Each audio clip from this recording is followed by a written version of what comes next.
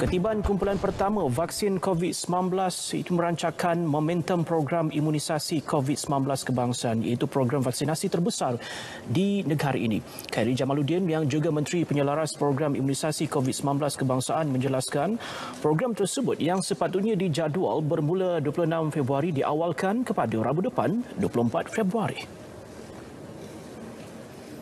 Saya juga nak umumkan bahawa kita awalkan, kita telah buat keputusan untuk awalkan permulaan program imunisasi COVID-19 kebangsaan di mana pada hari Rabu hari Rabu iaitu 24 hari bulan 24 hari bulan uh, Yang Amat Berhormat Perdana Menteri dan uh, Yang Bahagia Tan Sri Nur Isyam Abdullah Ketua Pengarah Kesihatan akan menerima suntikan vaksin pertama di Klinik Kesihatan Putrajaya.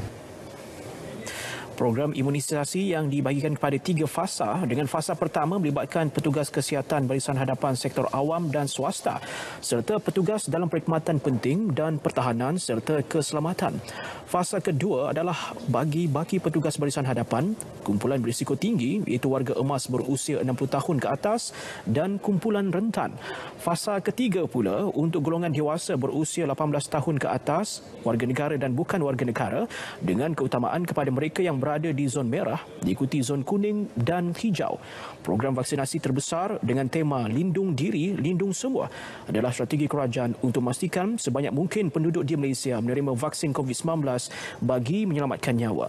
Sejak pandemik itu dilaporkan di Malaysia pada 25 Januari 2020, sebanyak 1,051 kes kematian dilaporkan di negara ini akibat COVID-19 setakat Sabtu 20 Februari. Virus itu dilaporkan telah menjangkiti 280,272 orang dengan 244,753 orang telah sembuh.